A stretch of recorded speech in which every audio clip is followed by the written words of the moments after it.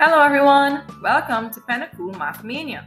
My name is Captainess123 and today we will be working on adding whole numbers with and without regrouping. Addition is when you put together two or more numbers to find the total amount. Adding without regrouping means that when you add any group of digits together, their sum is 0 to 9. Let's look at an example without regrouping. 4,133 plus 1,561. We place our number sentence into the place value chart and then we begin to add from our ones column go up. 3 plus 1 equals 4, 6 plus 3 equals 9, 5 plus 1 equals 6, 4 plus 1 equals 5. Our answer is 5,694.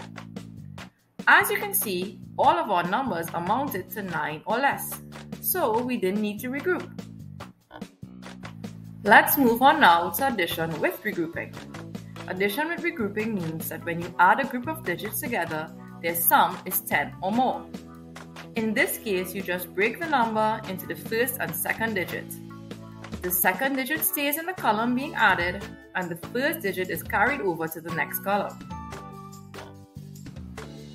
Example time, let's add 2,789 plus 3,246.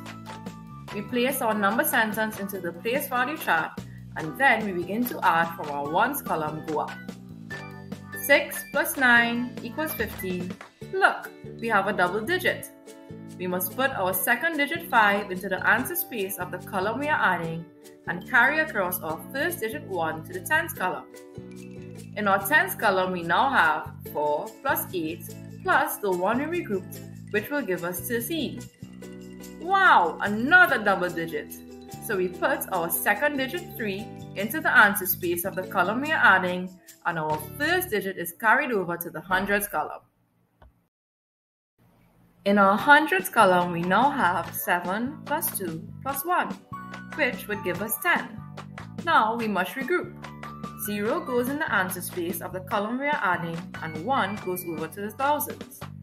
And now we add our thousands.